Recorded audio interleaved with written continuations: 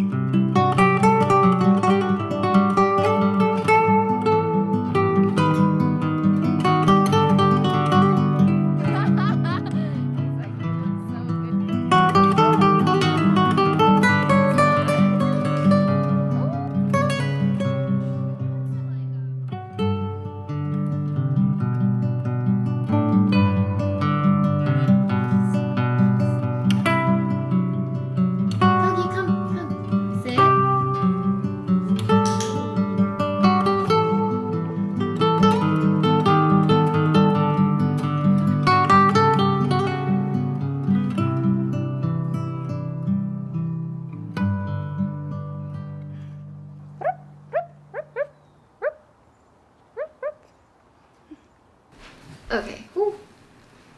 Ah, he's a biter. He's teething and he's a chewer right now. Hey guys, so I wanted to do a video on my new puppy, Togi. This is Togi. As you can see, he's a little rascal. Yeah, no, I thought I would be able to like hold him and him be all calm and cute for the video, but no, it's okay. Togi is a mini multi-gen golden doodle and I do believe we were fated to be together. It's been really tiring as a new dog mom. He is my first official puppy that is my own. So if you guys have followed me for a while, you've noticed I've mentioned a dog, Coco. Coco is actually Wilson's family dog, but like I was with him since they got her as a puppy, so I felt like she was almost my dog, except I didn't really raise her, feed her, do any of that, but I played with her. Um, but yeah, Togi is my first puppy of my mm-hmm. own, and I'm happy. It's tiring and he's a handful, but he's also super cute and really fun. And all in all, I'm very grateful and I feel very, very lucky to have found him. Okay, so let me first talk about what I mean we were meant to find each other. you know, I believe in like the universe, everything happens for a reason, whatever's meant to come to you will come to you. So it was a very like interesting chain of events, coincidences, and synchronicities that led to this. So it was like in June where I started to get puppy fever because I saw like other friends have puppies. And there was one night where I dreamt that my mom told my brother, oh, it's okay to get a puppy. So like my whole life, my mom, she never let us have a dog. She just doesn't like animals. And I don't know, that's just, she, like she never allowed us to have dogs over at our house. Even Coco wasn't allowed to come over. That's how strict she was. So anyway, there was this dream where she's like, oh, it's okay now.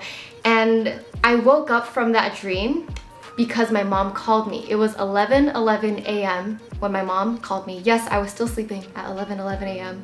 And she called me freaking out because she's like, Eileen, there's a cat in the house. I don't know how it got in. So I like woke up, I went downstairs and yeah, there was a cat and it was like a big cat in our house. It was the strangest thing because we just didn't know how the cat got in. It might have slipped in as Wilson was leaving to go to work. I, I don't know, but it was strange but like I basically let the cat out I found like a number on its collar and I called it and I mean, long story short, the cat basically was my neighbor's cat and the cat did find its way home. But the day, like I only spent like, I don't know, five minutes with the cat and the cat was being so friendly, brushing up against me. And so the day after the cat left, I missed the cat. I was like, I wonder how she's doing. I miss her. And so I called my neighbor again I just to ask how the cat was doing and he's like, oh yeah, she's home, everything's good. And it was that day, basically, let me look at the date. It was June 30th, the day I started missing the cat. I was like, okay, I think I should get a dog. It's the right time to get a dog. So that's the day I started looking up like dogs for adoption. And that's what set off like my obsessive dog search. Just from adoption to breeders to figuring out what exact breed of dog I want and all the details of everything. Like the chain of events is so interesting, right? The cat came June 29th. I missed the cat June 30th and I started looking for dogs June 30th. So July 1st, the day after I started my search, Togi's litter was born. And then July 2nd was the day that I started reaching out to breeders because the 30th and the 1st, I was only looking at dogs up uh, for adoption. And then after that, I was like, okay, it's hard to find a dog I want. I have to expand my search. So on July 2nd, I emailed um, the breeder where Togi came from. And she just happened to have a litter of 12 puppies, which is a lot of puppies. And she had two extra puppies than expected. And she only had, I think, nine people on her waiting list. So there was a chance to get a puppy. And I was super excited about that and she wouldn't let me put a deposit on the puppy because she wanted to wait till they were seven weeks old to see which one she would want to keep for herself. So it was like a lot of anxiety and uncertainty being like, okay, there is this puppy that I might get I know I'm vying, I'm like competing against a bunch of other people for these like extra two to three puppies and I don't know if I'm gonna get it until, you know, like the week before I could take it home. So it was yeah, two months of waiting because she wouldn't let me put a deposit. I was like, take my money, please, but she just wouldn't. Anyway, fast forward through me searching and feeling anxious, even putting a deposit on another puppy that I'm, I'm not getting anymore in that two month span, the day came where she opened up deposits for her extra puppies. And it was actually on Wilson's birthday, August 15th, where I, I was like editing um, this video that I made for Wilson's birthday with my email open. And when the email came, I think I saw it like 10 minutes after the email came and I submitted my money like ASAP.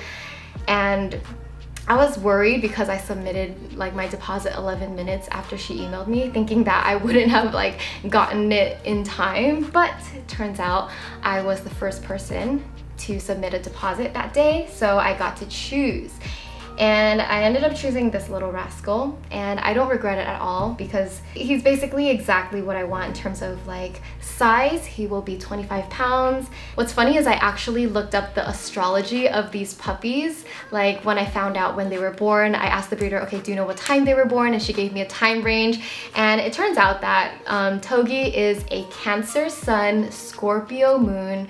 I obviously don't know his rising because we don't know exactly the time he was born, but all in all, like it really shows. And he is a Cancer puppy. Like he is sensitive, emotional. He can be dramatic. I think that's the Scorpio moon. He was kind of a crybaby the first week. I mean, he still kind of is, but we're training him to be by himself. He would just, he has separation anxiety. I mean, I think all puppies do. They're not used to being by themselves, so they'll just like cry and bark. But I think that I was meant to have a sensitive puppy. if you guys know astrology, my Chiron is in Cancer, and those are my wounds. And so like growing up, those were the traumas and wounds that I dealt with. And the fact that he is a cancer puppy, it, he's teaching me so many lessons about motherhood, about accepting like sensitive, emotional children and giving them love and being like, okay, maybe maybe I was the crybaby when I was a kid and I must have been really annoying and as the parent, like no matter what you can do, you can never make your sensitive child happy because everything's gonna make them like, I don't know, sensitive and cry. Um, I don't know, it's just, I think it's, he's definitely here to teach me some lessons. And you know, I see everything as a learning lesson. Some of you out there might think I sound crazy. I mean, he's just, it's just a dog. But really, I, I'm learning so much. It's only been a week and a half since I got him. And I wanted to make this video now because he's growing every single day. He is already bigger than when I got him last week. And I've been taking a lot of pictures, a lot of videos. It's been really hard to be productive because just with the puppy, you have to like take him out every 30 minutes, every hour, feed him, play with him, nap. The only time I have a chance to work is when he naps for like one or two hours at a time. So yeah, I'm not mad about it though, obviously. obviously, I, I wanted this and I'm happy and I feel like I've, it's like my next chapter in my life is to learn to be a dog mom. I'm also learning like how I would be as a mom, how Wilson would be as a dad.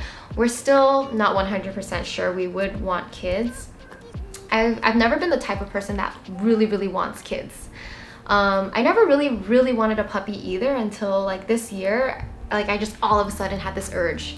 And Wilson says that it was my motherly instincts kicking in, but I don't know. After this, I can only imagine how much more difficult it is to have a human baby and to raise a human child because they stay children for much longer than puppies do. So yeah, I am just learning about my tendencies. I'm a worrisome parent. I'm very like protective and anxious and I need to learn to like let go.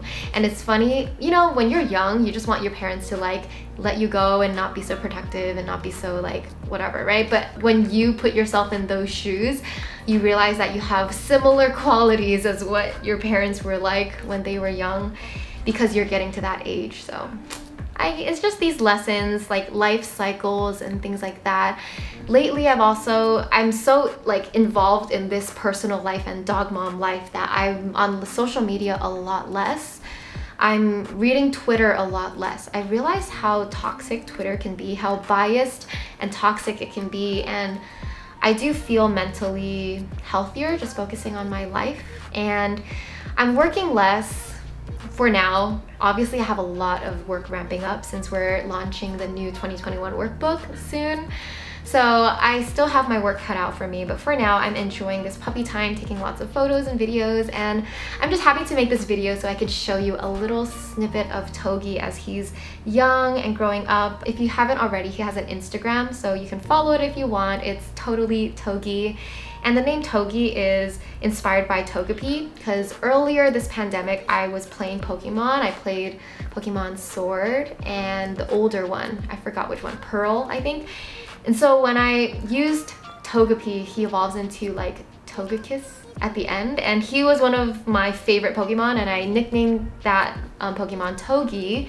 And then when I found out about like the Togi's litter of puppies, I literally stayed up at night in the beginning just thinking about names and I don't know, Togi just sounded the best to me. The other options were like Zuko, because I was watching Avatar, or Waffles, but there's a lot of Golden Doodles named Waffles. And I'm the kind of person that I want to like have a unique name, invent my own name, I mean, that's why I invented the word Lavendaire.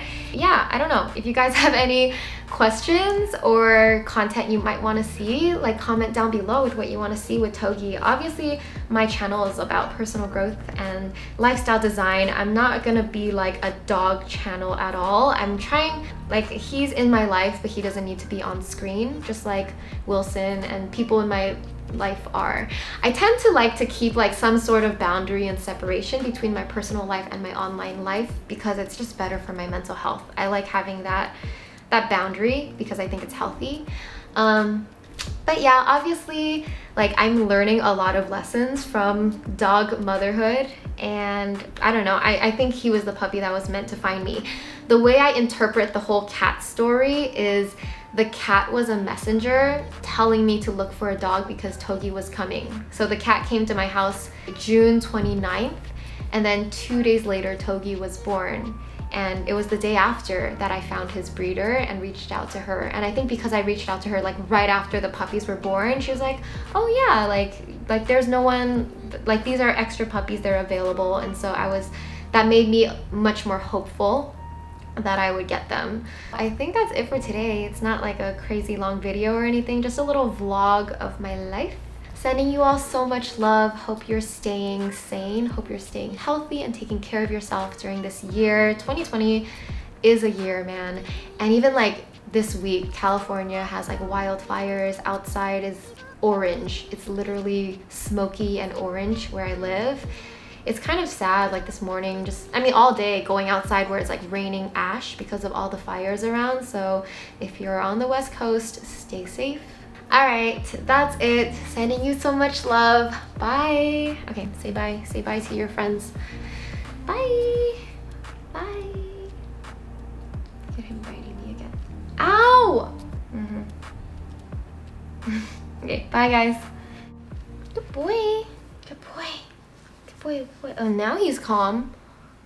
Now you're calm. What happened? You're all pooed out.